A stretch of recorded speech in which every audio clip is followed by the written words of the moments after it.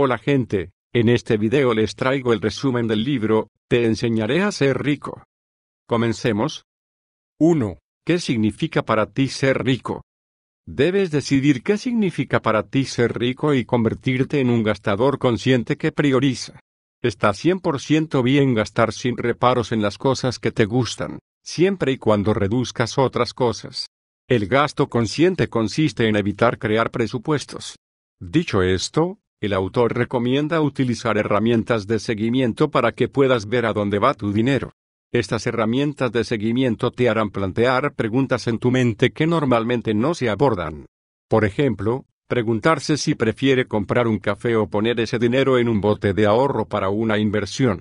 La realidad puede ser que te guste más comer fuera que tener una casa. El autor recomienda hacer lo que le haga más feliz a largo plazo. Si esto es comprar un sándwich un par de veces a la semana, siga haciéndolo.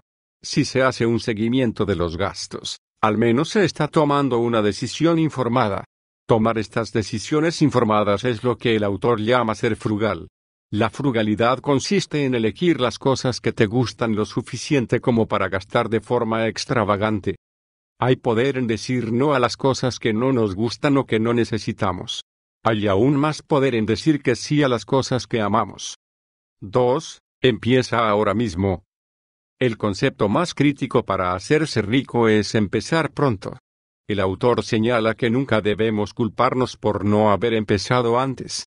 Por supuesto, si hubieras empezado hace 10 años estarías mejor financieramente. Pero, el segundo mejor momento siempre será hoy. No espere y espere el mejor momento. El momento adecuado para poner en orden tus finanzas nunca será en el futuro. 3. Excusas comunes para evitar la acción. No hacer la elección perfecta. Lo primero que puede hacer hoy es abrir una cuenta de ahorro en línea. Esta cuenta no debe tener comisiones, ni restricciones en los retiros, y debe tener un tipo de interés alto. Lo único que tienes que hacer es buscar cuentas de ahorro con un tipo de interés alto en Internet. Una de las excusas más comunes es preocuparse de que los resultados no tengan el tipo de interés más alto. Una excusa aún más perjudicial es creer que habrá una cuenta de ahorro que saldrá pronto con tipos de interés más altos. Ambas son meras excusas que le impiden iniciar su viaje financiero.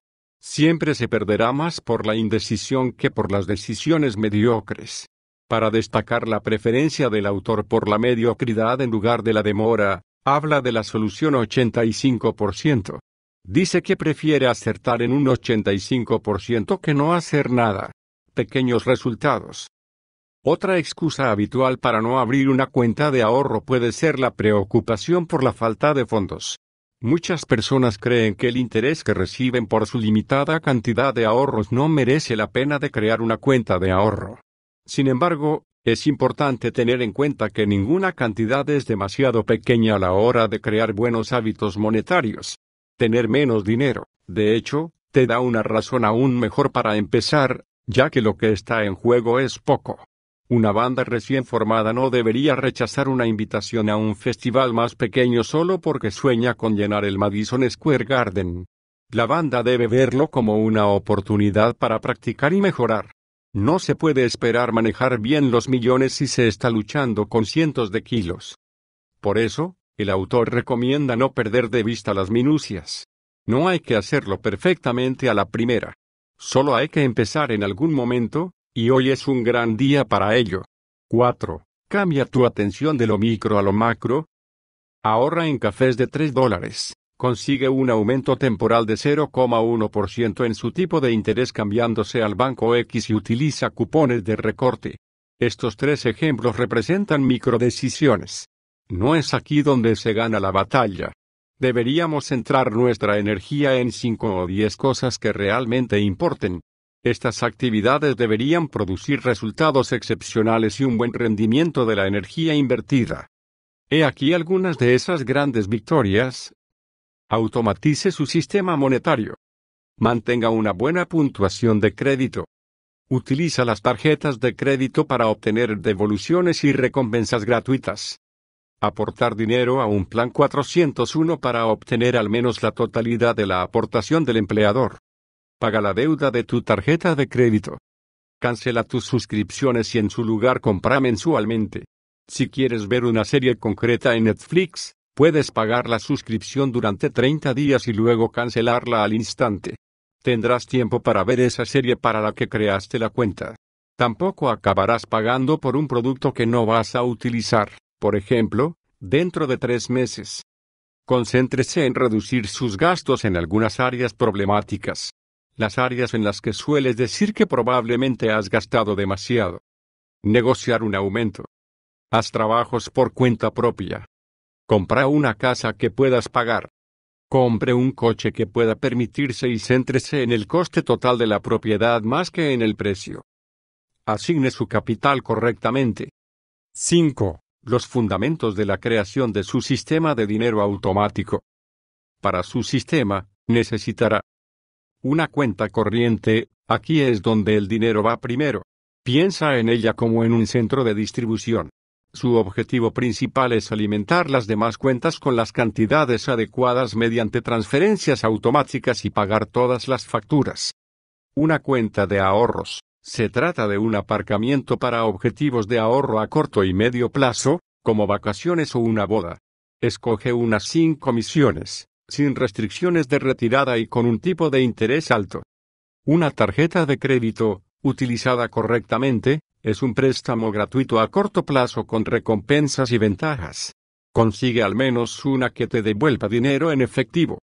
Una cuenta de ahorro para la jubilación, como un 401k o una rotira. Esto será específico de cada país. Una cuenta de inversión. Obtenga una de un corredor de bolsa en línea. 6. Los beneficios de establecer su sistema de dinero automático. Los humanos somos débiles a veces. Nos distraemos, nos aburrimos y nos desmotivamos. Estas características ponen en peligro nuestros esfuerzos de inversión y hábitos de ahorro anteriores. ¿Crees que te importa? Pero este interés personal puede durar poco. En dos semanas, podrías volver fácilmente a tus antiguos malos hábitos.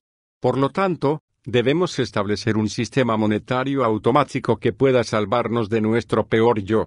Este sistema se asegurará de que nos ciñamos a nuestro plan de dinero a largo plazo asignando nuestros ingresos cada mes. Crear un sistema monetario automático es una forma de hacer algo de trabajo ahora mismo para cosechar importantes beneficios durante años y años. 7. Creación de cubos de dinero. Su sistema monetario automatizado debe basarse en un plan de gastos consciente que contenga cuatro cubos. Costes fijos. Inversiones. Ahorro. Gastos sin culpa.